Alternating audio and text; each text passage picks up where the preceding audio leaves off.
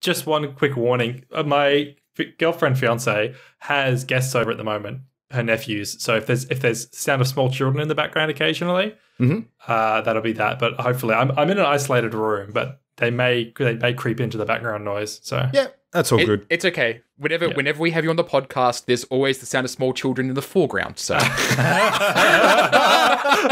oh my god! Oh, I'm so like that was so good, and I'm so glad that you said it, not Luke, so Luke couldn't be smug. No, I'm fucking devastated that it wasn't after we'd started the show. Fuck, that. Save your material for the right moment. Jesus. this episode of the Party Loaded podcast is proudly sponsored by Audible.com. Check out their awesome catalogue of audiobooks with over 180,000 titles to choose from. And be sure to grab a free audiobook on us and support the show by visiting audibletrial.com slash endgame. Let's party.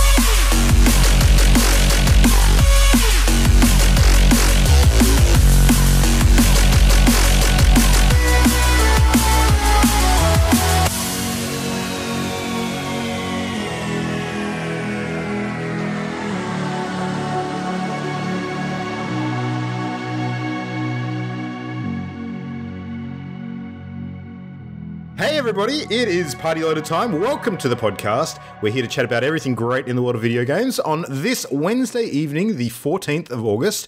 Holy shit, it's the middle of August, but we have joining me, Luke Retallick, tonight. We have Mr. Matt, the Game Dad Diet. Welcome, welcome. Welcome back, Matt. hello, gamers. Hello. Well, you don't know that everybody's listening is a gamer. We could have some some muggles on here as well. I don't know, what do we call them? Wait, I don't know why you would be listening if you weren't a gamer. Of course, of course. But Maybe someone just who's really likes the sound of our voice. Well, yeah, okay, sure. Who, who, Sorry to- who else likes the sound of uh, your voice, Mr. Christian Paulson Brown? Welcome. Me because I cut in before my introduction. entirely fair. oh, holy shit. Well, welcome. Um, Matt, you're back. You, you, you took a week off. You I am here. Had learning, teachy stuff to do, and uh, I think that's a noble enough cause that we can't give you too much rubbish. So uh, we actually completely missed our opportunity to throw mad shade at you last week, so that's kind of our bad. Yeah. Why were you going to throw mad shade at me? I mean, I like, don't know. It's really, almost like an unwritten rule that's kind of. Div- oh, maybe it's just Adrian. No, I think it's just Adrian. It's just Yeah. Adrian. I'm, I'm sure you have plenty of reason to throw mad shade at me, so that's fine. Sure, sure, sure, sure, sure. Yeah. So what, what's what's going on? What you, what have you been up to the last uh, week or so? Sort of generally speaking, with uh, So, um, the the reason I actually wasn't on the podcast is because I was doing a talk, um, which wasn't just for game students; it was actually for local industry as well. Mm-hmm. Um, where we were talking about failure and embracing it, and basically just uh, this whole idea that if you make a mistake while developing a game, you know, you should own that mistake because if you fail to do so, it's going to cause you problems later on. yeah, And I want to just mention it really quickly because I was really proud of the framing that we used for um, kind of describing all this stuff to people. And so it was myself and Brendan Reagan, who I used to work with at um, Stirfire. He's currently working at Titanium on a big triple AIP that I can't talk about. Um, but we were basically chatting, um, and and and so we opened up at the talk talking about Mass Effect Andromeda and everything that went wrong with that game and why it went wrong. And they were talking about our personal experiences um, with failure in the industry and um, how we would kind of change our behavior to to improve on that if we were to go back and, and do it all again. Yeah. And you know, basically, basically, this whole message about hey, like we have, we you have to own your mistakes in order to improve upon them. Because if you don't own them, then you'll just do something worse later on. And then we ended the talk with Anthem. nice. um, which, which got the point across very, very well, um, I think, to everybody in the audience. But it was good. It was a really positive thing. The weekend before that talk, I was actually also busy because I was part of the Game Makers Toolkit Game Jam. oh, very cool. So Yep. i- is that the Uh, main game jam this year, just with that theme, No. or is it a separate thing? No, so the Game Makers Toolkit um, is actually a YouTube channel um, where they cover a whole bunch of really interesting stuff um, about game development. And you would actually really enjoy this, Christian, because I know you uh, you watch New Frame Plus. Um, Oh, yeah. Game Love Makers Toolkit d- dives into that stuff as well. Yeah. So so their their game jam like it's just it's just a, a smaller game jam in comparison to the global game jam which is usually earlier in the year around australia day. And so game makers toolkit jam um their theme this year was uh there can be only one. And so uh, uh, the whole reason I did it was because a whole bunch of my students wanted me to do it with them, and then I had a whole bunch of stuff come up, and I ended up stuck at home. But I still participated in the jam, and so I made a game where you play as a centaur that wears 3D glasses. um, which actually worked amazingly well. I might add. I'm trying to. But- I'm so trying the- to draw that into the theme. Yes. Well, there can be only one eye. Uh, Okay. Not, uh, oh, you not- say you say you it's meant not Cyclops? centaur. Cyclops. That yes. makes more sense. Okay. Yes, Cyclops wearing 3D glasses. You only have one eye. Oh, wow. Sure. 'cause I- Yeah, I, was so- getting like an image of like a space centaur, and I was thinking Alpha Centauri or something like that. Uh, No, no, Cyclops. Sorry. So uh, you, you're playing a Cyclops and you're wearing these 3D glasses, but you can only look through one lens at a time. So you keep on having to swap lenses. Um, like like the old um the magic eye things that you have the crank on the side. Yeah, yeah, yeah. Yeah. Um, and so basically, when you have the red lens over your eye, the whole world turns red, and when you have the blue lens over your eye, the whole world turns blue. And this basically turns it into a puzzle game where certain uh, elements in the environment will be hidden away if you're wearing the red lens and that object is actually cyan or blue in color. It will turn black. Um, and so it just kind of disappear- disappears into other black objects. Um, and so you have to keep on swapping the lens back and forth to be able to actually see the environment. And it actually worked really well um, for a 48 hour game jam where I only spent 12 hours of it making something. Nice. Yeah, I was rather proud of it that. sounds cool. yeah, I was. I was. Uh, people have uh, really enjoyed it, so that's neat. Hmm. Um, but in terms of actual gaming, All right. because I did play some games. Cool. right. Well, let's let, let's jump into to this week in gaming. What do you got for us, buddy? Yeah, so I'm going to very briefly mention this super cute little game that I picked up um, that's like an experimental game um, called A Short Hike. Mhm. And I, I grabbed it just because, like, wow, the screenshots look super cute. And it is super cute. Like, imagine if Animal Crossing were a platformer and that's a short hike. Oh, okay. And it's really, really good. Like, it might be one of my favorite indie games of this year, actually. Like, really chill, super nice story. It has a really cute moral at the end, and it surprises you in terms of like character development. Mhm. Um, you make a lot of assumptions about the the character that you're playing in the game, and then at the end, it kind of reveals like they're a bit deeper than you gave them credit for. It's a really nice feeling. It's just yeah, it's it's super cute. I really enjoyed it. Um, so you should go buy PC it. game or? PC, yep. Um, so you can get it on itch and Steam. I bought it on Steam. Um, it was like ten bucks or something like that, really cheap. But other than that, uh, a bit more of a substantial narrative game. I started and finished Detroit Become Human over the span of like four days. Oh, okay. I'm very curious to see where you where you ended up with that one. So, Um, well, nobody's dead. Put it that way. really, nobody. Holy Yep, I, shit! I played it on the high difficulty, and I managed to get um, everybody out alive. As far as main characters go, the main three, Hmm. they're all alive. so that that means that um, you missed out on a magical combine harvester accident scene. So, have you did you heard about that? Uh, no, I hadn't. okay, cool, cool. I'll tell you about it later. um, but yeah, so I, I was really, really happy with that ending. Um, I really love Kara and um, Connor. I thought they were fantastic characters. yeah, Marcus felt a little bit dry to me. Agree. Um, in terms of being like a character, I didn't really enjoy him that much. But I, I thought that his narrative was super fascinating. Hmm. Um, like the, outside of the characters, like narratively, the game has flaws, in my opinion. Um, and this is this is nitpicky, right? Because I thoroughly enjoyed this game, and I actually kind of regret not playing it sooner. Um, but it feels like heavy-handed, and it felt like it got a bit repetitive, especially in Kara's storyline Hmm. like I uh, if you've played it and you've seen Kara's story and you didn't like kill her at the start of the game or something, then you probably know what I'm talking about in that things kind of repeat themselves and it, it feels like it's really trying to hammer home this moral about her narrative in particular um and the way that people treat her. So for anyone who's Um, unaware, like her major arc is that she's like a, a servant um, android, Yeah. and uh, you know ends up ha- having to escape with a, a young um, child. So Yeah. it, it- she's on the run for most of the game, essentially. Yeah, Yeah, yeah. Um, and she she basically ends out relying on people that she shouldn't be relying upon. yeah, yeah. but yeah, so that, that was th her story in particular. Kind of, um, I wasn't a huge fan of, but oh my god, Connor, holy fuck, Mm. his story is so fucking wholesome and so much fun. And as a character, he's just great. And like every single time he delivered a line, I'm like, okay, calm down, Keanu. Like he just sounded so much like Keanu Reeves so often. Mm. Um, and I loved it, right? Like it, it was just really good because that like that kind of robotic delivery makes total sense for an android. Yeah. Um, but his whole narrative, like I, I found myself, and the way they do this in the game is brilliant. But like at the very start, right? Like you're you're told what your purpose is, and you're trying to fulfill your purpose to the best of your ability. And then as you're playing the game, you're learning more, and you're changing your behaviors, and it feels really organic. Yeah. um and that's just it's it's a really amazing thing the way in which they influence you to kind of just do that. Um and i mean you you can totally stay with the way that you start the game off but as you're kind of learning more as as connor and everything it just feels organic that you know he would he would change his opinion. Mm. um and the way they kind of play that off all the way towards the end of the game is just brilliant. Like i love it. That that character is a ton of fun um I enjoyed it enough that I kind of want to go back just to see what happens if I played it differently and if I didn't try to make sure everybody was okay.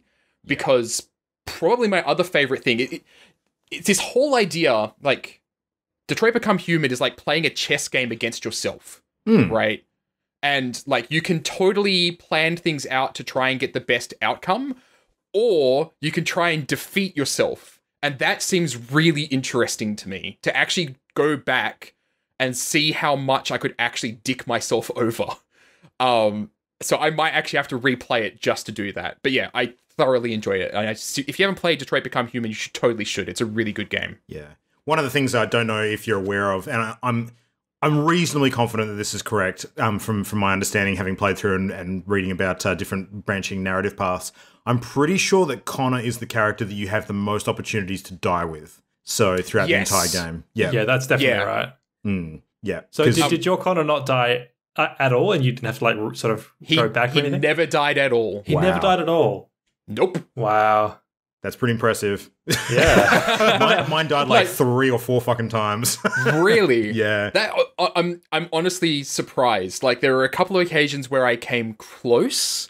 Like there's one occasion where you're chasing somebody across a freeway with very fast moving cars Mm, and it felt like the quick time events for the person you're playing as that Connor's chasing were not quite as severe as the ones that Connor was getting. yeah. But he came out of it alive. So like he didn't die there. Oh, and dude, a dude couple I, other lost, I lost Connor in the opening act with the hostage negotiation on the oh, rooftop. Yeah. Yeah. Yeah. So Right. um Yeah. Do, Yeah. do we, how, how carefully do we have to dance around spoilers for this game? Because it's, it's a bit year old. it is right? pretty Can we- old now. Well, we- I, I don't consider it to be a spoiler, eh, given that most people who play this game will not necessarily make the same choices we do, so they'll probably Yeah. get a different experience anyway. So, Well, well tu- tune out if you're really, really sensitive to Detroit spoilers for like a minute. Hmm. Um, but I was want to say because, like, with Connor, the thing that's interesting about him is how he's the only of the three who who can die, but then is is replaced. Like, Yeah. and, and, like if the other two characters die, they're, they're gone for good. mm, But with but with Connor, he, he keeps coming back, uh, and I think that that's that like factors into why his story is so was so interesting for me is is Yeah. that, that idea of like continuity of self and like what it means to be an individual being and and that Yep. sort of thing. So Yeah. I'm surprised that yeah, your Connor didn't die at all. Put it this way: Mm. the the context of me never having my Connor die meant that at the end of the game, after the series of decisions I made, when a second Connor turned up, I was like, "What the fuck?" Yeah, right. I, I was thi- just thinking that, like, you, you probably actually dicked yourself in a way by missing out on like a part of the story that actually kind of matters by Yeah, not a little dying. bit, so, yeah. Yeah. But but at the same time, like it made this plot twist at the end that there are other Connors. Mm. Really, really neat, you know? Yeah. And they know the exact same things that my Connor knows. And I didn't realize that this was a thing. yeah, Like Yeah. I thought that if I lost Connor, that would be it, and and Connor's story would just not continue. Mm. Um, so uh, that that plot twist at the end definitely hit me pretty hard, and I seriously enjoyed it. yeah. It also it also made like we're still in spoiler territory here, but Yeah. it also made that interaction with the um with the detective at the very Clancy end. Brown. with Hank. Yeah, Yeah. That, that's the other best reason to play Connor because Clancy Brown's Yeah. friggin' awesome. Yeah, he's awesome. Yeah. But but like that interaction at the very end, um, so so my Connor ended out in the android facility, right? Um, and the other Connor ended out getting Hank and like holding a gun to his head. And there's this whole moment where Hank has to pick which Connor is the real one. Um, and that moment became all the more satisfying because my Connor had never died, because it had been the same one from start to finish, you know? Yeah. Um, yeah. Oh god, It- there's so much cool stuff in that game. It's just unfortunate that there is a couple of those narrative beats that could have been done way better. Yeah. Yeah, I, I, I personally think that the Connor, I'd say, is in my in my, in my opinion the only good of the uh, story of the three. Like, I don't like Marcus or Kara's stories at all. I, in fact, I I almost hate them. Like, I feel like the the science fiction like concepts that they grapple with are handled very clumsily, and I think that Yeah. they are they are like concepts that were played out in like 60s and 70s sci-fi like it's like super kind of old trite sci-fi concepts about like Yeah. you know like emancipation of androids and having empathy for for you know inorganic beings that sort of thing I entirely agree. yeah but Like, I- Connor I- was I- fantastic I really like Kara as a character. Mm, Um, mm. but her story, like that, her her opening chapter is really good, and I thoroughly enjoyed it. But then they basically repeat it, Mm. and it doesn't feel great, right? It's like, oh, for God's sake, we we're here again, you know. yeah Um, and Marcus is, God, like playing playing through as Marcus and choosing to be a pacifist sucked Mm. Yeah. because over and over again the game gives you reasons to not be a pacifist, but it's like I know. I know this is a fucking trap, right? And if I choose not to be a pacifist, this is going to go horrendously badly. And it felt like all the way through it's it's tempting fate, right? Like how far am I willing to go being a pacifist before they just kill Marcus off and he he becomes this character that sacrifices himself for the greater good, you Yeah. know? And I was kind of expecting that. Thank God it didn't happen. Mm. But like, yeah, it, it didn't feel good on the way there though. And it My- just my having biggest to make issue with- decisions again. My oh, biggest issue with Marcus, in the same vein, is that he's the one character out of the three that um, he, his story is so rapidly progressing that a lot of his character development feels unearned.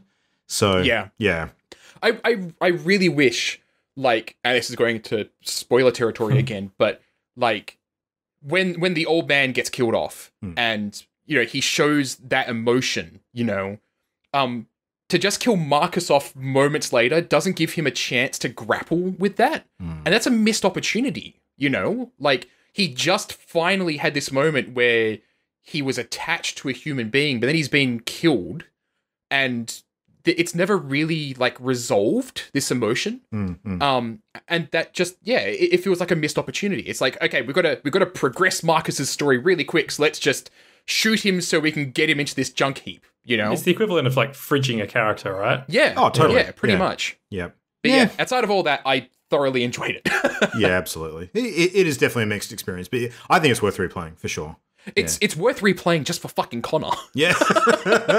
well, if you want to replay it on stream, I'd be happy to hang and chat with you as we go through. That that would be a really fun time, I think. i i may just do that yeah yeah, yeah. just yeah. get him killed at every opportunity and he, the more he comes back the more he, he like breaks down like his Yeah. systems start to like haywire and it's, it is amazing Don't worry, I- Matt. I, I can point to- out all the good times to do that. Don't worry.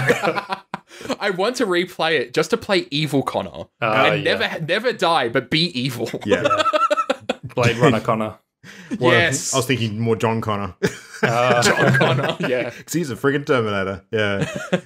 Ah, all right. Well, uh, Christian, what what have Yeah. you been up to? You, you, how many more hours have you sunk into the the Fire Emblem? How, how not you as not as many as Adrian has. Um, he, he texted me last night that he's actually finished his playthrough of, of Fire Emblem. I'm Holy like, wow. yeah, shit. yeah, yeah. He he, he I, I picked it up on release, and he quite quickly eclipsed me and has has now finished. Um, I don't. I'm not sure how many hours he put into it in the end, but I'm like 35 hours in, or, or maybe close to 40. And I Well, think what, whatever half- it is, you can add 10 on compared to you anyway. So, Yeah, Maybe it's yeah. false start. yes, that's right. Yeah. Oh, that's right. He even got the false start, and he's already finished it. yeah. Um, I think I'm about I'm just over halfway because the game's kind of neatly divided into into two distinct halves. Um, and I, I've just started the second half. Um, And I just main main thing I wanted to say as far as updates go is that I'm actually quite disappointed with the combat in the game after getting further into it because it's way way way too easy. Like I, I, I'm playing on Mm. the normal difficulty with classic mode, so with permadeath. Um, I, I could have put it on hard, but but I didn't, and I can't now change it. And on normal, the fights are just ridiculously easy. Like it's supposed to be a game of it's a strategy, you know, strategy RPG. So you should be like carefully positioning your units to bait out enemy units, and then you know put putting your tank at the front and that sort of thing. But really, my units are so strong that I can just hastily run them straight forward, and then the enemy units just run into my guys and just die. And like, I really don't have to use that much strategy at all, um, and it's quite disappointing. Hmm. And Yeah. I, yeah, I, I've read I've read out some other people saying that it's too easy. Even even on hard, I've heard that it's it's too easy. Um, it's a bit of a shame. So you, That's good to know because I'm actually thinking about picking it up. yeah, i- i- if you if you haven't played any Fire Emblem game before, then maybe the normal difficulty is okay. Or but or, have you played many strategy RPGs in general, Matt? Yes. I've Okay. played- played a fair amount. Yeah, yeah. you you you could probably play it on hard then, because it really that there's the the first couple of missions might seem uh, like tricky, but then there's a there's a very immediate hump that you get over, then it becomes a cakewalk. Um, right. Yeah, and even like the bosses, like there's a th- this is the first Fire Emblem to have monsters in it, and monsters occupy like four four squares, and there's supposed to be like a system in the game where you kind of you attack all four of the squares the monster occupies, and that like stuns it, and then that'll like stop its attack that it's charging. But I've never ever had to think about that system because I just kill the monsters in one turn. Ah, Mm. So like there, I can tell that there's depth. There's more depth to the combat, but I'm not. I'm not being able to interact with it because I'm killing things too easily. yeah, that makes right. sense. Yeah. Well, Um, but other than that, it's it's it's good. Like the the story stuff's still really cool, and the, the characters themselves are really cool. So yeah. It's a, did you get a, an idea from Adrian as to how long the game sort of was likely to be, or not from Adrian, but I've read online. I think most people are taking kind of sixty to eighty hours, something like that. Jesus, that's way longer Goddamn, than I Adrian. yeah, yeah. Holy crap! Okay. Uh, and he, he even he mentioned the possibility of starting a second playthrough because Oh my God. because it is a game where you pick one of three houses. It would be interesting to see it from the other houses' perspectives. Yeah. Yeah. because that, that's something that's really cool about the story is it. I've I've read that I mean, no matter which of the three houses you choose, your the re- information that's revealed to you about the main plot is is selective, and it's done in a way that makes you feel like you're in the right, n- no matter who you choose. So the yeah, so like it's piece it's given to you piecemeal and it always makes you feel like you're the good guy and the other houses turn out to be the bad guys but it's just a matter of perspective Yeah, well, I mean, most I like villains that. in um, sort of uh, you know tales of of hero- heroism are the heroes of their own story anyway. So that makes total sense to me. yeah yeah, so I'm, cu- I'm curious to see what it's like from from the other ch- houses perspective Yeah. Well, I've I've got one very very important question, and this one's for Matt. So, Matt, given what you know is coming out in the next two weeks, when the fuck are you going to find time to play Fire Emblem, my friend? Holy shit! so so here's the thing, right? Fire Emblem's on the Switch. Oh, okay. And Here we go. I, right now I'm playing uh, Pokemon Let's Go Pikachu on the way to and from work. Yep. Um, and that's great. Uh, I will probably not get Fire Emblem until after I finish that. Because that's kind of my travel game at the moment. Mm-hmm. But outside of that, I probably wouldn't play a lot of Fire Emblem, and that's a lot of trips to and from work to finish it. I was going to say you just leave an hour earlier and just to take like a circuitous route. Yeah.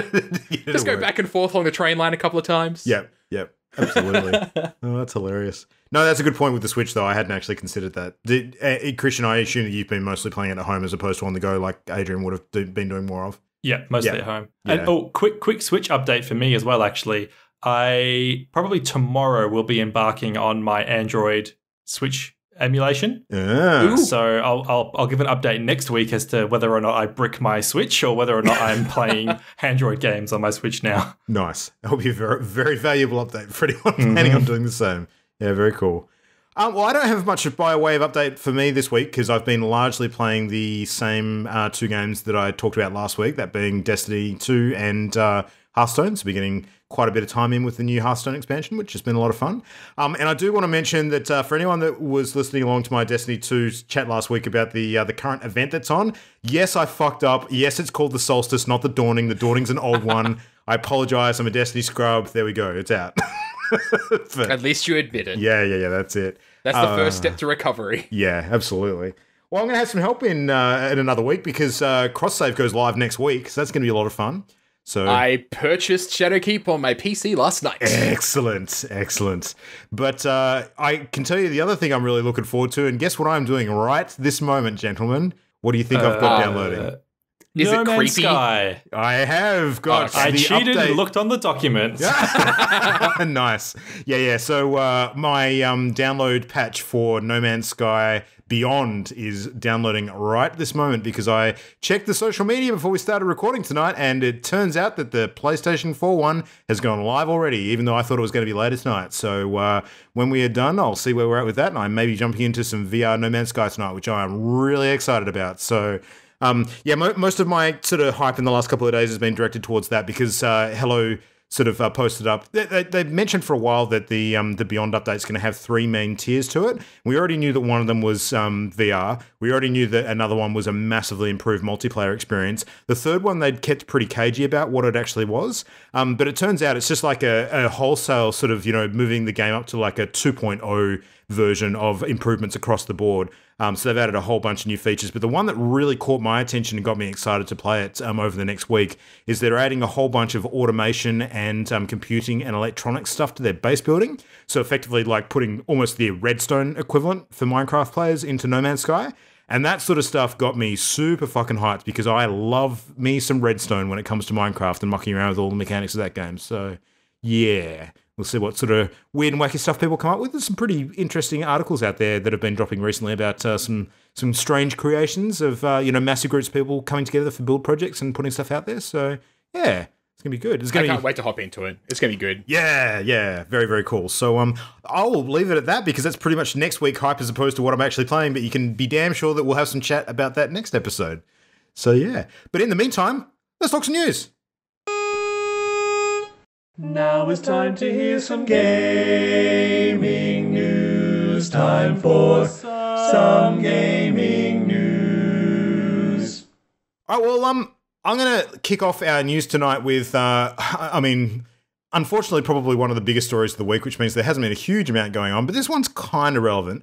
So, um, you all know who Ninja is, of course. He's, you know, pretty much made his name uh, through all of the the Fortnite wave of of success over the last sort of six to twelve months. And uh, at um, present, he was the, and I, I say was because of the next bit, he was uh, the largest uh, current streamer on Twitch, most successful. I think he, he has the current record for largest number of concurrent viewers, which I believe was the um, famous stream that he did a while back where uh, Drake joined him and, and he streamed Fortnite, or maybe it's even higher since then because his popularity sort of skyrocketed with that game as it, it sort of got big.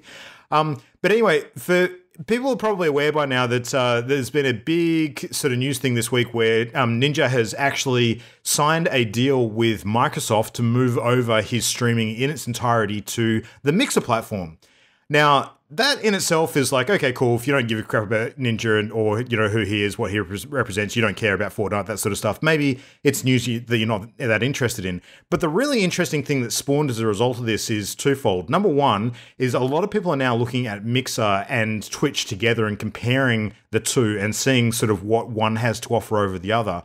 And the interesting thing is, there's actually quite a few things going in Mixer's favor at the moment that have uh, sort of built quite a bit of interest in that platform where there wasn't before. So, what we might be seeing is a little bit of a changing of the guard when it comes to some of the more popular streamers, actually, just by default being on Twitch. We might be seeing them um, sort of moving over and taking their audiences with them. You know, it- the question is, is this the catalyst to see like a bit of a migration? I'm not sort of suggesting that, uh, you know, all of a sudden Twitch is going to lose its market share and we're going to see everybody move over to Mixer because that's clearly not going to happen. Um, Yeah, no there's- way. Yeah, there's, there's way too much risk involved with people losing their um, their audiences to do that. I I think only the most popular streamers or the ones that really don't have a lot to lose would be the ones that would benefit more from that at the moment. But um, I mean, interestingly, I, I've been doing a bit of research on it as well, just to sort of get my head around what some of the, the key differences are, and some things that I've learnt uh, about Mixer offering that um, that Twitch doesn't, which I found was quite interesting. One, one being that there's a really good integration with Xbox One on Mixer. So if you do happen to be the sort of player that's um, playing Xbox games predominantly, which I mean, there's not, not a lot of them out there, but there's definitely a few. They've got that that sort of seamless um, integration with the Xbox app, as you'd expect, because Microsoft platform. Um, but one of the things that they do um, offer is uh, co-streaming, which means that you can actually have up to four broadcasters simultaneously streaming their gameplay to a single location. Now, that's kind of relevant um, for people like us, uh, you know, for example, Yeah. because we've chatted a lot of times about how to actually technically do that. And, uh, you know, aside from some sort of, you know, wizardry involving, you know, sharing of screens through Discord or other, you know, shenanigans to kind of, you know, get like a combined picture going or where we can switch points of view and that sort of thing, it's something that's really hard to do. So the fact that Mixer actually offers that is probably a big point in its favor. But yeah, there's a few other interesting things too. They have uh, a different kind of reward system for people who watch um, content on Mixer. Because on Twitch, they've got you know that ecosystem of digital goodies that people can unlock for you know getting. Um, they can get like emotes and chat badges and that sort of stuff. A lot of that's linked to the spending on the platform, like with supporting channels and becoming subscribers of various different channels. The way Mixer does it is mostly rewarding viewers for just spending time on the platform. So That, that, that's more more prevalent in Twitch now as well. There's whole- it? there's- Okay. Tw- Twitch drops is a system where Oh, true, yeah. just, ju- just from watching like a certain amount of time, you can get like Hearthstone packs, for example, for the the big tournaments, that sort of thing. So Yeah, if, I'm not mistaken, that's usually linked to particular streamers or events, though, isn't it? It's not more. of- yes, it is. Yeah, yeah, yeah, So this is more like a widespread kind of um, system that exists across the entire platform. So as you watch streams, you can earn XP, level up, and you receive like the mixer currency, which is called Sparks. Um, so Oh, okay. that get, gets you perks. So you, I, I think that you've actually got a bit of agency over what you can choose to to spend that on, as opposed to it Ah. being linked to the individual streamer. So yeah, I just found the whole thing really fascinating. Like just the fact that now there is actually finally a bit of a mounting um, sort of uh, movement towards having some real competition to Twitch, which you know could be a good thing moving forward. And um, the fact that Ninjas sparked this, I think, has, has made for some interesting discussion this week. Um, but the other thing that's come about as a result of this is that um, Twitch actually I- I, personally think had a major fuck up in the wake of Ninja's move, in that they've actually done something that they haven't done with really any other um, streamer that's left the platform until now. Um, and that is that they've actually used his now um, sort of uh, unoccupied channel space to advertise a whole bunch of other streamers on the platform. So they've actually got like a different format landing page for Ninja's channel compared to what would happen if anybody else left the platform. Um, and you know, on one hand, that's bad because it kind of shows that you know they're they're clearly sort of you know treating nin- Ninja's uh, you know brand and his popularity differently to the, than they would anyone else. And even though it technically might be permissible under you know whatever um, terms of service that Twitch has, you have to ask why are they treating him differently to everybody else? And uh, I mean, the obvious answer is because of money and because he's got a huge following and they're trying to you know cash in on that essentially. Um, but the other thing that came about as a result of it is that whatever algorithm they're using, clearly they haven't been, uh, you know, enforcing their own um, content curation uh, clearly enough because there was a uh, channel that got through which had pornographic material on it.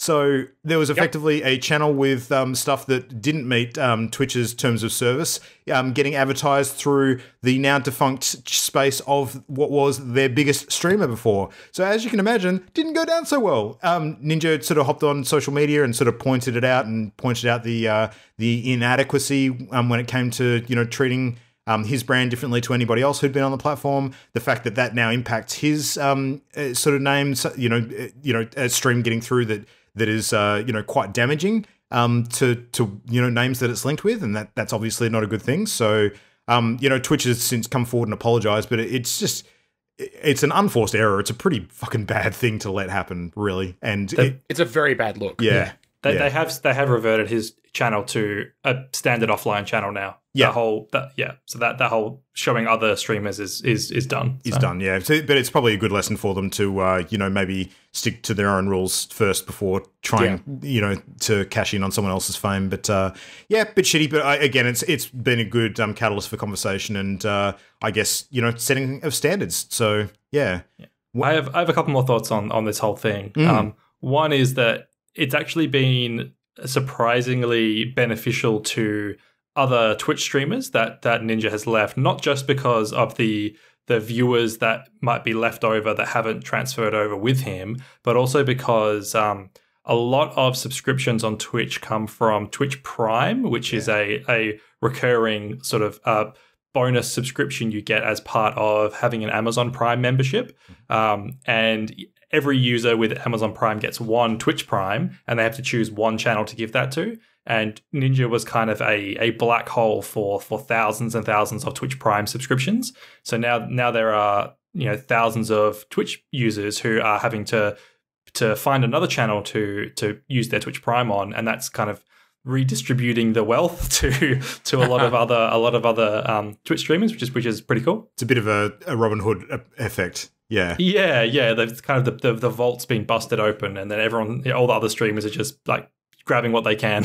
yeah. Um, and, and the other thing I wanted to quickly mention is Ninja put out like his announcement video when he transferred over to Mixer, and it was this like fake little press conference thing with a with a Red Bull fridge that was asking asking him questions, and it was all it's all fun and everything. But I, I, I there's a part of me that it like it really grinds my gears that the way that he framed it was he he was going on about you know he wants to get back to his his roots and like you know refocus and try try new things and and like that's all absolute bullshit. It's Yeah. it's Yeah. Microsoft dumped a giant do- like bag with a dollar sign on his desk and said we'll give you this much money if you come to Mixer and he went okay Yep. that's a lot of money.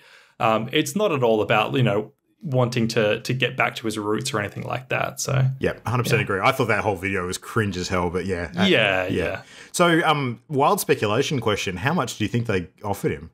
If you had to guess, insane amounts. I've Yes. I've heard, I've read um, other streamers who have been like Twitch streamers who have been offered not not even to permanently switch to Mixer, but to do special events on Mixer. Hmm. And there have been streamers that have been offered up to seven million dollars to do a special stream on Mixer. so imagine moly. imagine the amount of money to get Ninja to go there permanently. It would be insane.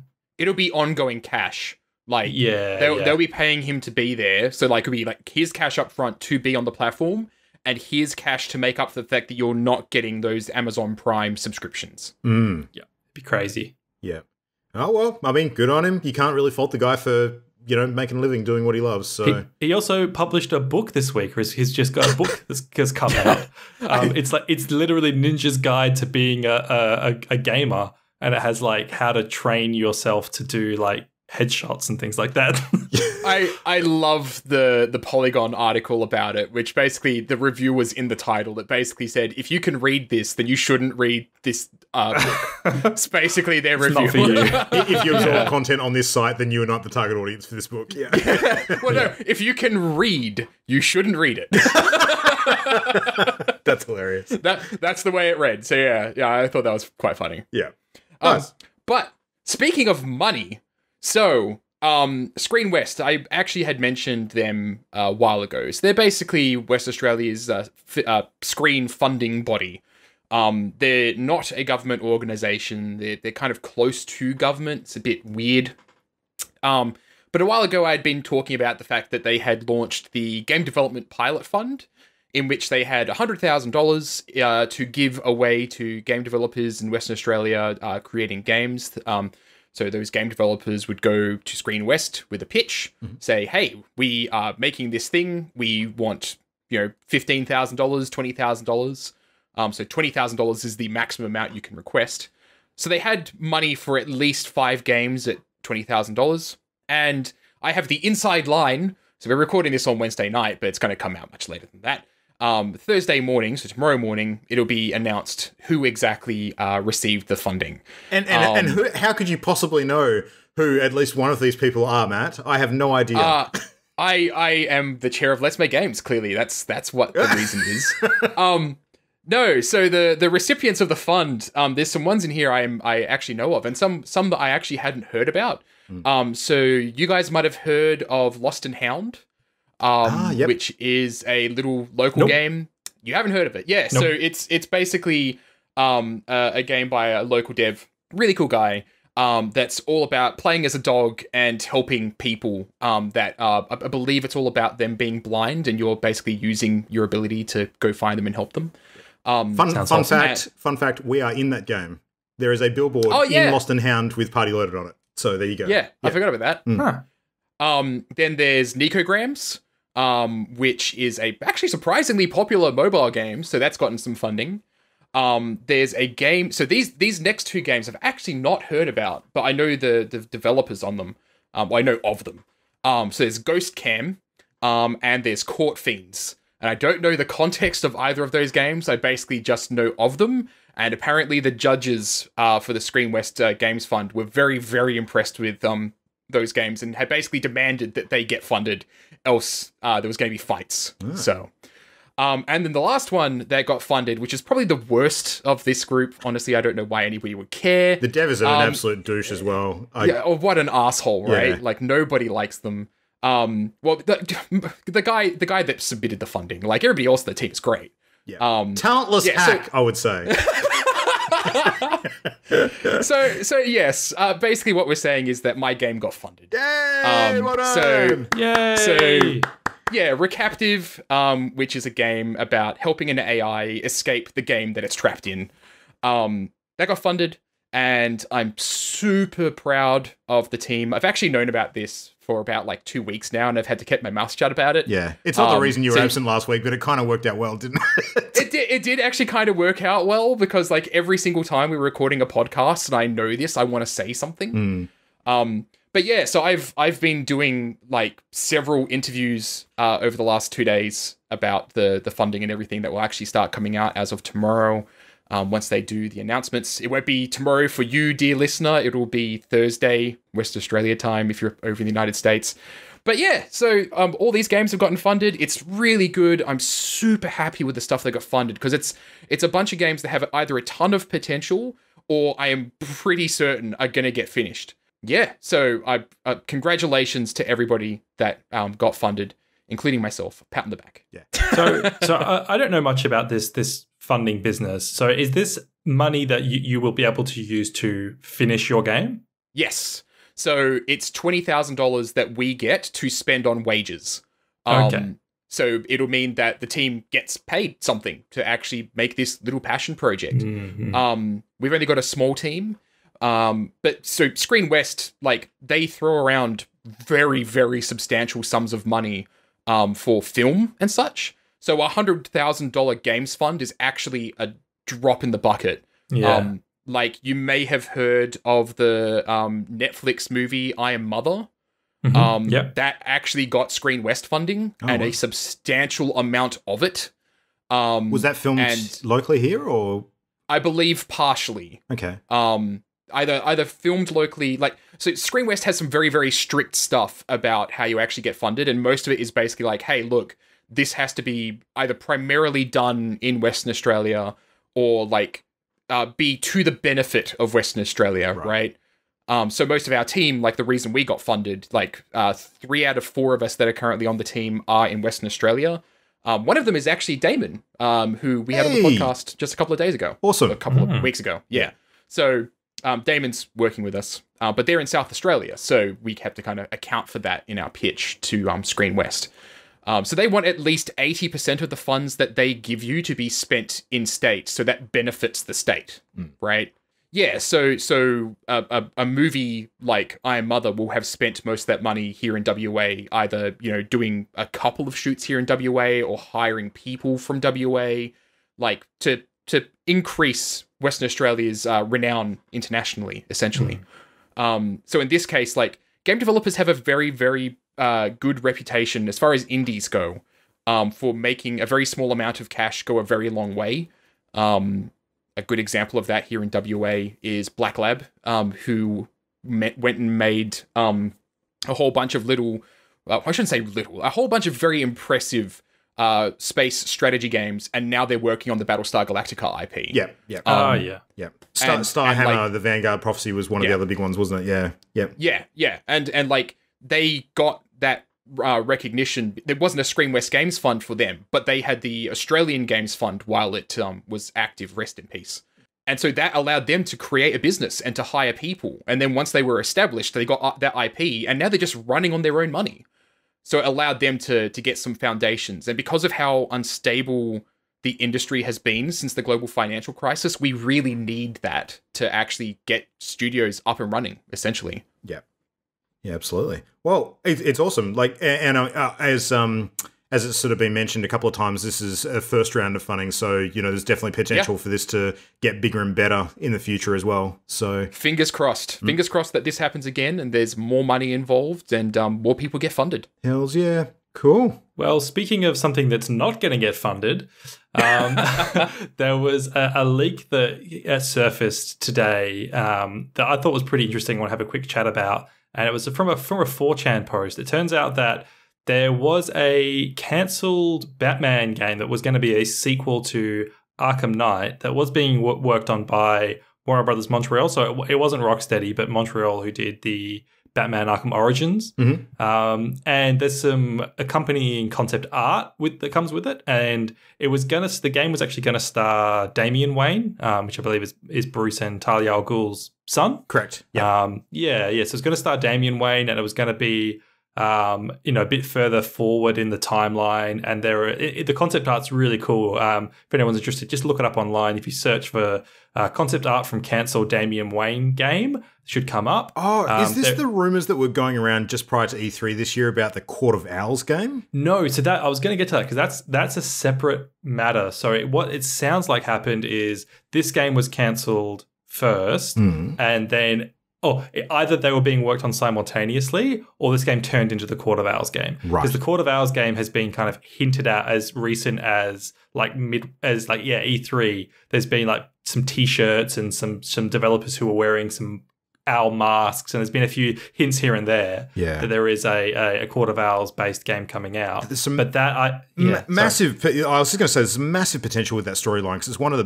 perhaps best known Batman storylines. Yet I think on the screen it's only really been adapted for the Gotham TV show, um, from what I understand. Hmm, okay. Um, and honestly, I don't think they did that great a job of it. Um, Gotham's a weird show, but e- even that storyline, I think they probably left a lot on the cutting room floor from what it could have been. But um, yeah, I, th- Yeah. there's definitely a good opportunity to adapt that for a game for sure.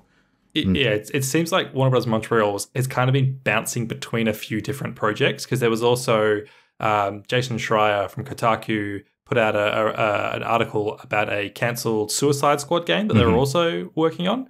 Um, that was cancelled a while ago now, but so at, at one point or, or another, they've been working on a cancelled Suicide Squad game, a cancelled um, Damian Wayne game, and probably a a in in development Court of Owls game, but that hasn't actually been announced yet. Um, but yeah, do do check out the the concept art because there's cool stuff like it. There's a, a female version of Black Mask in there. There's Gorilla Grodd. Um, Grodd's cool. yeah, yeah, and there's yeah a, a different Penguin and old Bruce Wayne um, as like a retired Batman, and apparently was going to have like a Nemesis system kind of, kind of similar to the Middle Earth games as well. Ooh, that'd be really cool. Yeah. Yeah. Um, are are you guys are you guys ready for another Batman game?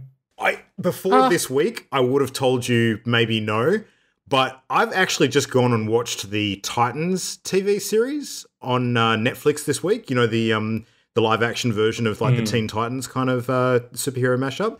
And I got to Yeah. say that series was surprisingly really good. I I was expecting it to be Okay. absolute hot trash, but it was awesome. And there's enough Batman related stuff in it that got me kind of excited about uh, the Batverse again. Um, so yeah, I, I could definitely do one for sure. I think there's been enough time. Okay. Yeah. I'm I'm gonna I'm gonna be the uh, killer here and just be like so. Batman doesn't kill people. but I do. All right. Um, no, so so not that I wouldn't dislike it, but more to the point that there are other superheroes available. You know, and and these games weren't that long ago. Have you checked right? their schedules, Matt? Do you actually know that for sure? More to the point, right? Like, what was the gap we had between the most recent Spider-Man we game we got and the last one? Right? like there was a would've been, uh, substantial probably amazing, gap. amazing Spider-Man two to Marvel Spider-Man. Probably like five Yeah. years. we, we know that it won't be the same gap between this and the next one, though. That's for sure. Yeah. Yeah. Like I just I just there's tons of potential there, but I don't know. I would like to see something different. I think there's other really interesting superheroes. It, it I would be equally as annoyed like if we had just gotten Superman games over and over again since that really bad one on Nintendo 64. Yeah. like that we it's just something different, you know. Um unless they unless they took what they did with Batman and made it better in the way that Spider-Man took what they did with previous Spider-Man games and made it better. Yeah. Um, and I don't know if they can do that because they were already freaking great games. So yeah. It's it funny just feels mentioned- like it'd be downhill from here, right? you, you mentioned Superman. That was actually another part of the of the the leak. The person who posted it said that um, Warner Brothers Montreal did pitch a Superman game, to, but it never got greenlit. So Yeah, see, Yeah. I could I have actually had this discussion with students just recently about how the problem with like a Superman or Iron Man game is they're basically a flight sim. Um, and the audience for that is limited. So that's why they don't make them. Mm. yeah, yeah. Yep. Um, but the the the last part of the leak was that Rocksteady are apparently working on a quote superhero creation game. So a- and there's a I'm not sure if it was part of the same leak or just people speculating that it it's likely going to be like a games as a service type thing, like you know cr- create a superhero and be in a shared shared world. And I think I think I'm way more down for that than I am for another Arkham game personally. Absolutely. Mm-hmm. That sounds really cool. yeah. Yeah, people will come up with some pretty creative stuff, and I mean, there's there's a huge open book on what kind of abilities they could add to a game like that. But uh, I mean, do you think a game like that would actually have to come with some sort of balance in terms of the powers? Because in a lot of these superhero settings, like the X Men are probably one of the best examples. Like there is a huge amount of imbalance between different heroes' powers, and that's part of Yeah. what makes for a compelling story. It doesn't sort of follow the same rules that you have to with game design per se, because it's not what they're that intent on.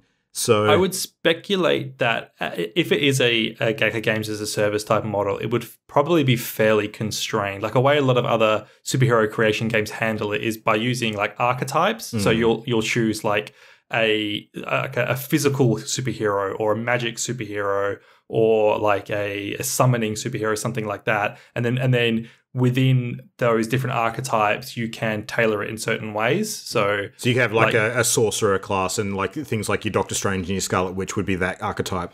then you could have like a Yeah, speedster type, and then you'd have a whole bunch of things that would fit into that mold, sort of thing. yes, exactly, yeah, yeah. So it'd probably be something like that. Hmm. I th- there's a dream game I've always wanted to make where it's an RPG style thing, and it, at the very start, you choose the game's difficulty by selecting how many things your character can do. Hmm. And that seems like it'd work really, really well for a superhero game because if you go and make a character that's Superman, that's probably going to be a really easy playthrough. Whereas if you go and make Batman, that's going to be a bit tougher, and the difficulty should kind of re- um, represent that, right? But that doesn't work for games as a service. Like that would be a terrible idea, and yeah, that wouldn't work at all. I- It'd be a single player game. I'd like to see a game like that actually properly experiment with, with when you're coming to like character creation with like a proper flaws system. I think that would Yeah. be really cool. Yeah. yeah, absolutely.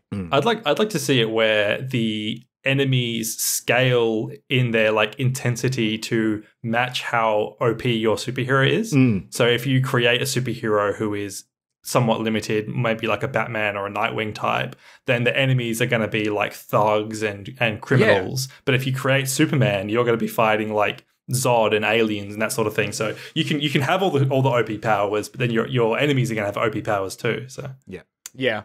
And if you All your enemies are always equipped with kryptonite. yes, exactly, yeah. And if you party up with uh, a Superman, then sucks to be you. yeah, nice. All right, well, uh, I guess we can move into our, our main topic for tonight. So, um, this one is uh, something we haven't chatted about for a little while, but it's it's a timely thing to circle back around to, given what's about to happen in the next check time. Probably 30 minutes. so, um, I mean, as I mentioned earlier in the episode, uh, No Man's Sky Beyond is launching uh, as of right now. Um, you know, the, the launch is happening simultaneously across different platforms. I don't know if it's hit Steam yet, but by the time you listen to this, it will absolutely be out.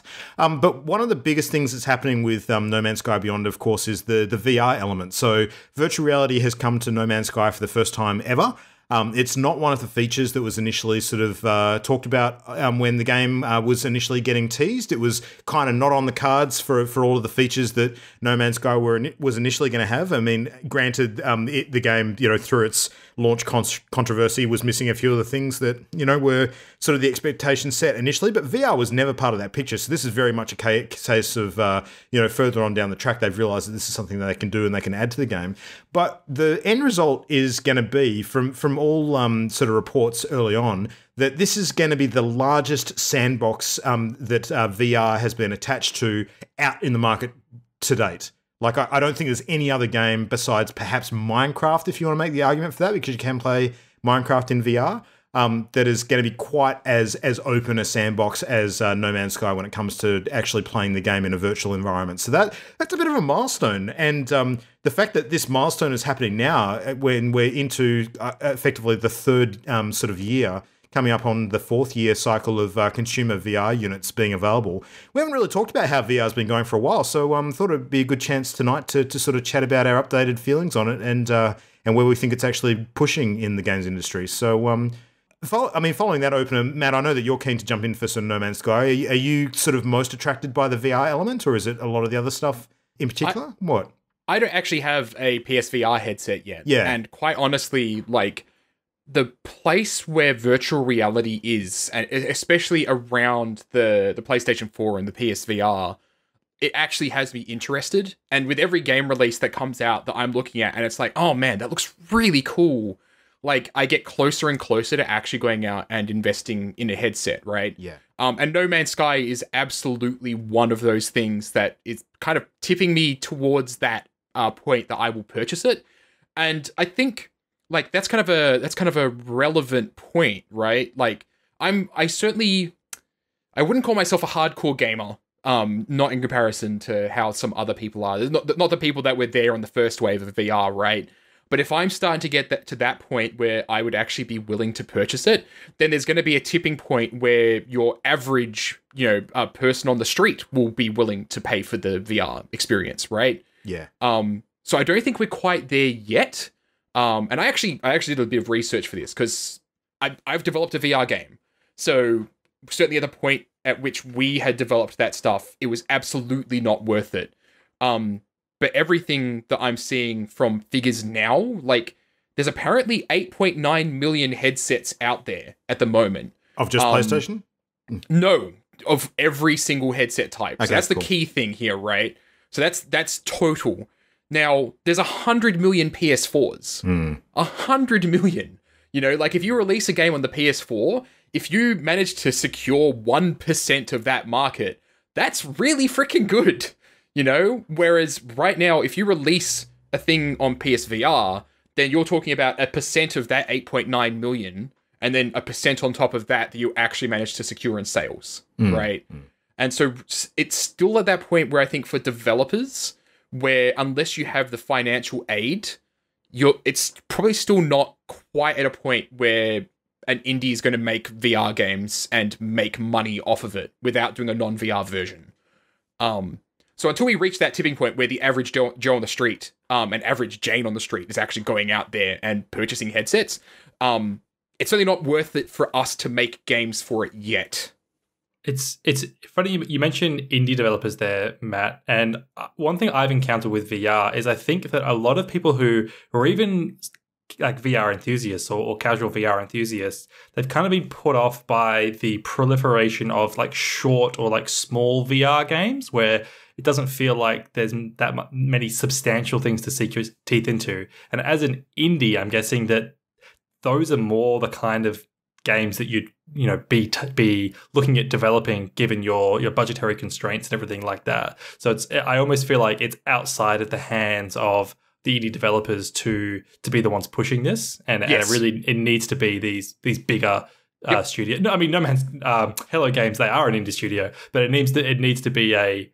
They've got funding from Sony, and and it needs to be a bigger bigger game than than, Yeah. a, than a small experience. Absolutely, yeah. And it's like indies are great at experimental experiences, but people buying VR headsets aren't interested in experimental experiences yet. Yeah, yeah. They're they're Sure. interested in action games and and those kinds of things. Like I think a really good example is um Falcon Age. If you've heard of Falcon Age, like it's this really cute game where you ha- uh, take care of a falcon and raise it and you you train it.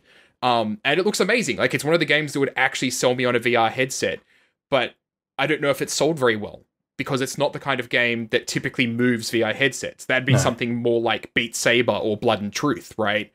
Like those games shift headsets. Yeah. Yeah, it, it, it's actually quite funny. Just this afternoon, um, my my brother messaged me uh, saying that he is ex- really excited to play No Man's Sky in VR tonight, and he's going to do an all nighter and and and play it because he's so keen. And he's a gamer that mostly he plays um, like shooters, like he plays Call of Duty, he does play Destiny. Um, he's a, a console gamer uh, sort of exclusively, and it's really unusual to to have a game that he's this excited about, um, and for it to be a VR game. I think that's that says a lot. Like he doesn't really message me much about gaming at all, but he's messaging me about how keen he is for No Man's Sky VR. So Doesn't he know who you are? Jesus. yeah, like, I, I replied to it being like, "Hey, actually, you know, I, I talk about this sort of stuff on my podcast, um, but yeah, maybe he'll listen to this one. Who knows? yeah, yeah, yeah, absolutely. No, it, it- it's funny. I Like, I mean, th- this is obviously only speaking about a, a small um, sample size of people that uh, you know I know directly, and um, that you guys sort of know as well.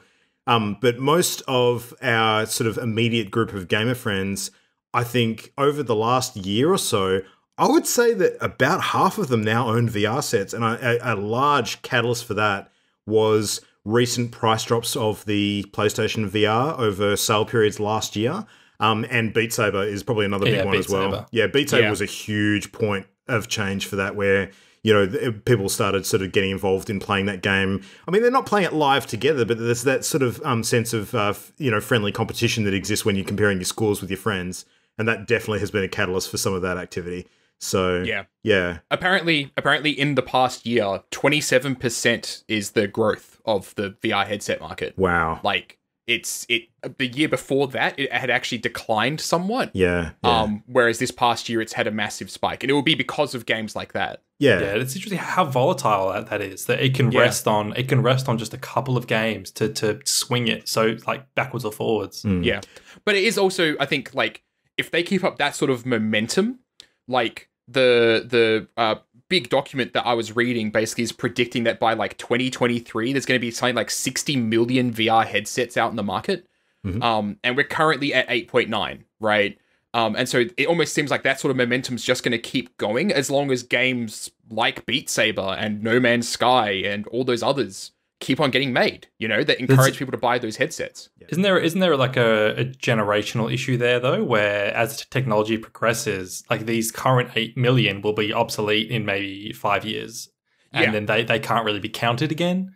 Yeah, and that's I think that's going to be the key thing is is like is that you know 60 million odd headsets all brand new headsets Ah, or is yeah. it just headsets floating in the market, right? Mm. Yeah, yeah. But because they're peripherals, I mean, for the most part, they're going to be tied to the systems that they're um, linked to. So, like PlayStation VR, for, for instance, is not going to in itself become obsolete in the same way that a PS4 will. Um, you know, I, I don't know what Sony's plans are with the PS5 or whatever that ends up being called. I'm going to call it now, though. It's going to be a PS5. Um, that, you know, the, the PS4 VR um, headset will probably work with that. I, I think they'd be mad not to have some sort of compatibility considerations for, for that peripheral Absolutely. yeah. Um, so you know, people who have that set are going to be able to port it over, and you know that's probably even going to be a gateway for them to get into the next generation of the system um, as well. So There's there's not enough market attachment for them to not support the current PSVR. definitely, Like Yeah, if yeah. they if they did a new one, they'd be starting over. Like it would be back to zero, and people wouldn't be encouraged to buy it because like, well, shit, how long's this new headset gonna last before it's outdated? yeah, yeah.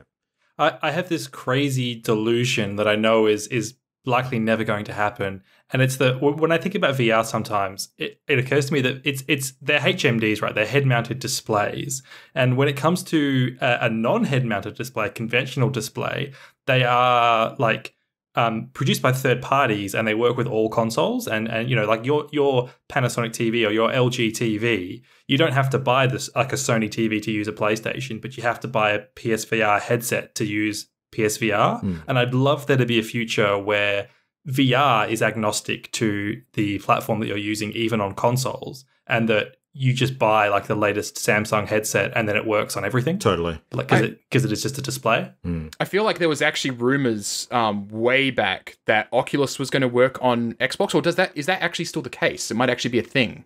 Well, we don't Not know sure. what the next generation is going to offer in terms of compatibility with that sort of hardware. So I I feel like that was a discussion back when we were doing Symphony a couple of years ago. That um, because yeah, because uh, yeah, no, it's weird. But I, I I'm I'm with you. I don't know if that will actually happen because like as as we've seen, like exclusivity makes money, right? yeah yeah Yeah, and Sony in particular have proven that they're pretty much a walled garden when it comes to sort of curating the PlayStation experience TM. You know, Yeah, because yeah. everyone wants to have the better experience, and if you're sharing your like resources, if it's if it's then you're not you can't really claim yours is better than your competitor, and it's not that's not good business. So yeah it's certainly also uh, the case for like um, game developers and for and for the platform holders, right? Like having your own hardware means that everything that gets made for it is made for that specific product, and it's it's little weird uh, uh, bits and pieces that you need to account for. Whereas Yeah. if you're making something that supports every single VR headset, that's a massive undertaking. yeah, Um, so this For wouldn't sure. work unless there was one headset that every single platform used, and that's never going to happen. and we don't really have a, a universally adapted control scheme between systems yet either. Like they've all got some variations in them. Yeah, um, I mean, there's definitely some consistency, um, but and, and you know. Certain games are definitely built built to have different control schemes depending on which platform they're played on for the ones that are across different platforms. But I think there's still enough of a difference where it's not just a you know a literal sort of uh, lift and shift across to a different platform and expecting everything to work exactly the same way. So yeah, Yeah. yeah. There was actually um, one more little statistic that I found that was actually super interesting. Um, and certainly as a game developer, again, like this just adds to my reasons to not make a VR game. Hmm. Uh, VR headset owners only spend six hours a month playing in the headset. okay. Um, and that's on average. So if that's six hours over the course of a month, they're probably only playing one game a month.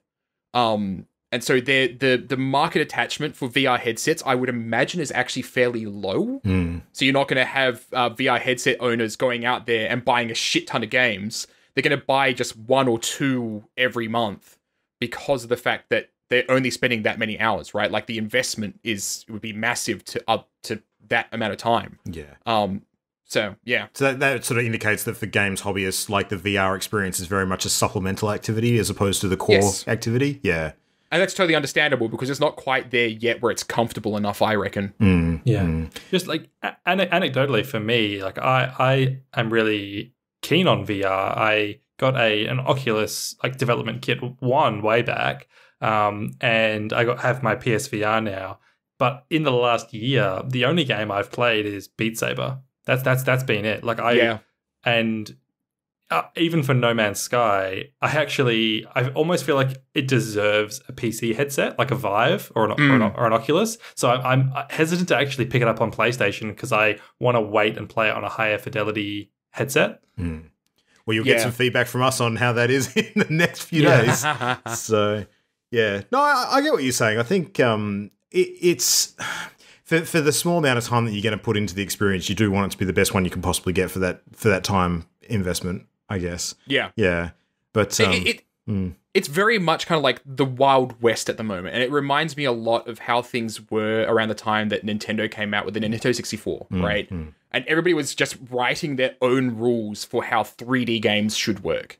Um, and that didn't really get like the, the until the rules got established, people weren't entirely sold on that stuff yet. Hmm. Um, and you didn't see anybody ripping off like Super Mario 64 and the way that it did just it just mastered platform controls in the in 3D, right? Like nobody was was ripping off that right away. It took a while before people were getting it right in the same way that Super Mario was. And I think that we're going to kind of get to the point with a lot of these uh, first person games and action games and everything about like how do you do certain mechanics, right? Like I was watching um, one of my friends play Blood and Truth, and there's a couple of moments in that where like you have to grab on to terrain and pull yourself up onto a ledge, and it was hit and miss. Like the mechanic just didn't work particularly well. Um, but there'll come a point where somebody writes the rules on how to get that right, and then everybody will be doing that thing, and it will be creating. It'll be easy to create games that do that mechanic, and there'll be more games out there for people to buy. Will encourage more people to get into the the space. So Yeah. Yeah, totally agree. So I guess in terms of the tech evolving in recent years, the, the big thing that seems to be coming to the forefront now is uh, you know the first wave of wireless solutions when it comes to VR. Um, so the uh, the Oculus Quest is has been making some big waves recently with regards to that being you know an extremely um, high fidelity and, and quality approach to to wireless um, VR and not relying on another console or a computer to actually um, you know run the games. It's all sort of built into the the one package. Um, and that seems to be picking up a bit of momentum because it's you know priced at a pretty reasonable point as well, and you know plays some of the very popular VR games extremely successfully. So you know apparently it's an absolute dream with Beat Saber, so that's gotten a lot of people interested in that thing. Because I tell you what, I would love to play Beat Saber without cords dangling behind me. That would be amazing. so yeah, But yeah, like the, the Oculus Quest is ultimately b- limited by the power of the hardware that's built into it, though, right? Because Yeah. it's not, you can't hook it up to a beefy PC system, unless I'm mistaken. Well, the biggest downside Um, is is going to be the um the uh, playtime as well because the battery life means Yeah. that you're going to have to recharge between sessions. I think it holds Yeah. a charge for about two to three hours. Um, Yeah. And if you forget to charge between sessions, or if you want to play for longer, then you're probably going to be shit out of luck. So yeah, there, there is the there's the HTC Vive Pro wireless module that you can get as well. yeah, is that the Um, the at- Vive S or something? Yeah, Ye- Yeah, is it the Vive S? Yeah, but I, I remember looking at it recently, and it's crazy expensive because you have to get the it's the it's an additional couple of hundred at least on top of the Vive Pro, which is already like over a thousand or around a thousand. So it, like high fidelity wireless VR is still like prohibitively expensive.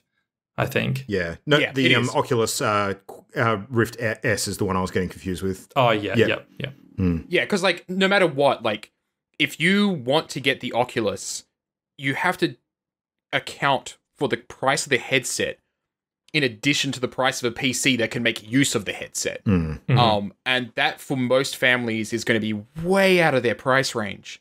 And so until we get to a point where those two investments aren't so massive and the headset is much less expensive, I don't think we're going to see like a major pickup um in the general public. Not not to mention like um the wireless technology is certainly good right now, but it can be so much better when it comes to stuff like latency and lag. Um, that you know, as we improve that stuff, it's just going to get cheaper and it's going to become a better experience as well. So it's probably not the right time right now for you know just just a normal family to go picking it up. Yeah. The um the Vive that uh, sorry the um the Valve one um that uh, I was thinking of before was the Valve Index. So that's the one that um you might have seen that it, it is um sort of shipping with the new uh, knuckle style controllers. So they're Oh, the pressure sensitive ones that um track all five fingers movement. So that makes them a little bit like gloves, but not quite the same. So Yeah. Mhm. yeah, just pretty cool. So yeah, um, I, I mean, I, I don't think there's any doubt that um the the popularity train was going to continue to chug along pretty solidly for Yeah. PSVR for a while longer. That seems to you know be the, the the easiest entry point for most people, just due to the library of games that are available on the platform and the fact that the console is so accessible for a lot of people to get onto. So Yeah. yeah, You don't have to think about building a PC. You just buy the console. yeah, absolutely. Yeah, but broadly speaking, I think that like some people may think I'm naive, perhaps, but the concept of virtual reality as an entity is just far too enticing for it to ever truly go away. I think like now Yeah. we've reached now we've reached this point. It's not like 3D I don't TV. think- yeah, yeah, it's not like 3D TV. No, like I think as a as a as a species almost, we're not going to abandon the concept of virtual reality because it is it is so enticing, and I think that it, it may just take longer than we like, but it'll it will incrementally keep getting better and more more affordable for sure. Well, there's been media supporting like the dream of proper virtual reality for a long time now. We've seen movies Yeah, about it yeah. since the original Lawnmower Man and Tron, like freaking forever ago. You know, It's like electric cars or something like that, like mm, clean energy, where where it'll it'll, it'll be a matter of time. At the moment, it's enthusiasts and and that sort of thing, but it'll it'll trickle down eventually. yeah, there's also like on the industry side, right? Like 3D TVs, they never picked up because for government organizations, what's the use, right? Whereas with VR, like there's medical uses, there's there's military uses, there's so many uses outside of just entertainment that'll keep pushing the tech forward in much the same way that the internet was pushed forward by by those interests, you know? Um so so I to- totally agree. VR is not going to go anywhere because while it's going to be useful for those industries outside of entertainment, those are just going to keep on feeding back into entertainment and making the entertainment side better. yeah. And porn, don't forget porn. Yeah. And porn, the most the most best entertainment. it's funny you should mention that. Actually, I pulled out a uh, a diagram for our um our big group chat earlier today, uh, in and which um demonstrated the uh, the highest traffic websites globally at the moment. Like it was a top 100 list, and out of that top 100 list, in the top 10, two of the sites were porn sites. So. Yeah, that is absolutely still out there as one of the, Oh, yeah. the biggest use cases for sure. So yeah, but um, like I, I guess we, we we all kind of agree that VR hasn't sort of been the runaway success that you know maybe some people hoped or thought it would be in the opening um sort of year or two. But it's you know slowly but surely picking up momentum and not going anywhere. But like in terms of games that that we feel are driving our own personal interest, is there anything that you you would be really excited to play that you haven't gotten to play yet? Like if you if you had to maybe name a few of your your top VR game interests that aren't ones that you've played already, what what would you be thinking of title wise? So for me, like uh, Falcon Age is definitely one of them because I just think it looks adorable as heck. Um, but probably the big one is actually Blood and Truth because it looks like, hey, look, you're the main character in an action movie, and that's just so cool. Like that, that is such a cool fantasy to be able to like be rolling around on my bedroom floor dodging bullets. Yeah. Like that just sounds amazingly fun. Um, like for me, like I've I've made it clear in past, like Beat Saber just doesn't appeal to me as much. I love the idea of it, but I wouldn't play it because I'm just garbage with rhythm games. Um, but but Blood and Truth in particular, like I just love the idea of that. There's also a whole bunch of really neat experimental puzzle games in VR that um have just never really taken off, but they they look super interesting. Yeah. What about you, Christian? I- what do you I- think? I, I'm actually a big advocate of like third person or like disembodied perspective VR games where you're like like a god floating above a a, a world, um, like the Astrobot Astrobot VR, if you know that. Yeah, Astro Rescue um, Mission. Yeah, yeah. So I- would love to see like a, a strategy game or something like a total war game where you're like floating above the the battlefield and can like fly around and and position your units and that sort of thing. Um, so I, I, that would be really really enticing to me. Would be more disembodied like strategy or or like um yeah games like that. So So, Matt, how quickly would you run out and buy a VR set if there was uh, Stellaris in VR? Stellaris and VR would suck. yeah, probably a bit too much going on for that one. No, uh, that would be awful. I, I would hate um actually trying to do that. There was there was a game that I was making with friends quite a while ago that uh, we were super excited about, which was basically um you remember Black and White? Mm. Um, Yes. we were That's- yeah. making we were making Black and White in VR. Ah, awesome! Because that, that's exactly the kind of thing I was I was thinking about. Is Yeah. that's that style of game? Yeah, Yeah, we Th- never they- we never can got also that far be- with it. they can also be pretty good with producing like motion sickness too, because you're the the the like the plane that you're looking at on the up underneath you is like fairly static. So that's like a fixed point of reference, and you're you're kind of just flying above it. I think that it can be pretty pretty good for motion sickness as well. Yeah, absolutely. But I think I think for me, like RPGs and such, like that'd be awesome in VR. Like being able to actually play a role and then like, you know, I, I think that we've kind of gotten there a little bit with like Skyrim and Fallout, but those are just older games ported to VR. I want to see a VR role playing game that's just VR. You know? Mm. Detroit would have been cool in VR. Oh yeah, that'd have been really neat. Yeah, it'd be quite interesting. Maybe, probably graphically wouldn't be anywhere near as, as good, but uh, God no. yeah, style of game, absolutely. Honestly, No Man's Sky as well. Like eh, when I think about the kind of games that I would have dreamed dreamed of getting in VR, No Man's Sky is that kind of game as well. Mm. Like a massive explorable universe where you can fly around in spaceships and and go into caves and find weird aliens and go underwater. That is like almost the pinnacle of of coolness for VR. Yeah. Um, and the more I'm talking about it, the more I'm surprised that I'm not getting it yet. Yeah. I haven't decided to get it, and I, I think it really is being a stickler for the wanting to get it, like because it's so exciting to me. I, I do want it to be the best experience possible. So Yeah. I don't know. Yeah. I'm, I'm, I'm debating internally as as I speak. The the See- aspect of No Man's Sky that I'm most looking forward to with that in mind is going to be the um, spaceship um, sort of uh, traversal. So the actual sort of you know spaceship dogfighting and combat, I think is going to be absolutely amazing. So I'm I'm sitting here thinking about all these different game genres that I want to see in VR. Hmm. And like we've done a lot of horror, but oh my god, do I want to see a stealth game? Like a Oh. first person stealth game in VR? And how intense would that be? oh, dude, Like- Hitman in VR, that'd be amazing. Yeah. Like, uh, so here's a here's a random aside. Like the other day, my students were following me down the hallway, and I knew they were following me down the hallway. I know. They, it, they, they, they were convinced that I have some weird doppelganger um, that has been going into some car park that I've, I don't go into. So now I'm freaked out. But they were stalking me down this hallway and talking about it. They were like a fair distance away, so they thought they must have, you know, they couldn't. I couldn't hear them. And so I zipped around the corner and they walked past. And it was the most satisfying feeling, just like, oh, there they go. Okay, now time to go out and start stalking them. IRL stealth game. Super teacher like behavior. Yeah, absolutely. Yep. uh, yeah. So you, you can almost build it around uh, that concept of like um, kids doing like a Nancy Drew style, your Hardy Yeah. Boys kind of uh, adventure sleuthing game and uh, have those stealth elements. That'd Oh. be cool. Yeah. like CSI is one of those things where their games were really shit, but imagine if they did that well in VR. Like a Mm. game where you had to pay attention to your surroundings and find evidence and be like a. th- th- There's so many cool concepts they could do in VR. It just makes it kind of unfortunate. We're still stuck in this like everything has to be an action game phase. Mm, mm.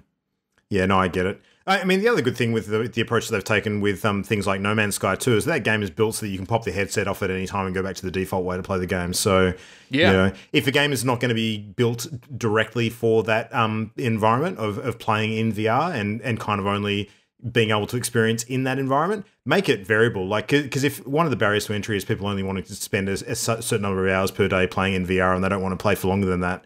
Like, even Jam, talking to Jam about the way she's going to approach the No Man's Sky updates, like, she's not keen to play it in VR all the time, but she definitely wants to be able to do it, like, when she feels um, the urge to. Um, Yeah. Being able to switch between the two, I think, is a really big plus for that experience, and we'll probably get more people trying it than, you know, if it was otherwise the case, for sure. So, yeah, VR's cool. VR's still cool. Looking forward to seeing what else comes out. I, I don't know if there's any other huge releases that we're kind of looking forward to this year that are on the horizon though. Like I'm I'm not aware of any in the periphery that uh, are kind of I, I guess notable titles that are getting any sort of marketing at this point. Do you do you know of any Christian? Is there anything that you've got your eye on, or is it? Not nothing springs to mind actually. No, like I can't think of anything So really. No Man's Sky may in fact be the big one this year. Then, if uh, yeah. that's kind of the continuing trend. I mean, la- last year we did sort of have a bunch that came out around the same time, which were getting quite a bit of attention, but a lot of it was after the fact too. Like Astrobot in particular was very popular for a while, but that was one that I think was kind of discovered by accident and then picked up momentum after it released. So, yeah. I don't know. Yeah, what I know of um, VR games on Steam, they don't sell very well at all. Yeah. Um, but I think that if we're looking at a drought of PS4 VR games, I would wager that's because people are working on stuff for PS5. Yeah, that's probably entirely true too. Cool. All right, well, anyway, let's wrap it there because uh, I want to go and play and actually experience this for myself. So- selfishly, perhaps, but yeah. Um, but anyway, that is a show. So uh, thank you, gentlemen. And um, Matt, if people want to sort of get in touch with us and give us their thoughts on VR, where's the best way to do it? Uh, so you can catch us by email at mail at partyloaded.com. Uh, look us up on Facebook at partyloaded. Uh, our Twitter is at Party Loaded show, and we're on YouTube and Twitch as well. If you just look up channel endgame or party loaded. That's it. You won't see us streaming on Twitch with VR though, because I think that's you know, what are you going to look at? Our like an awful idea. Jesus, yeah. yeah, cool, cool. All right. Well, anyway, I think uh, I think we've talked about what we're going to be doing over the next week enough already, but. Uh, We'll circle back around and, and no doubt have a bit more thoughts on that um, in seven days' time. Adrian will be back as well, of course, um, pending any uh, doppelganger related accidents in the meantime. So we'll see. But anyway, thank you everybody for listening. Hope you enjoyed the show. We'll be back again next week. Uh, until then, good night. Good night. All right. The Party Loaded podcast is a Channel Endgame production. For this and more great gaming content, bookmark channelendgame.com.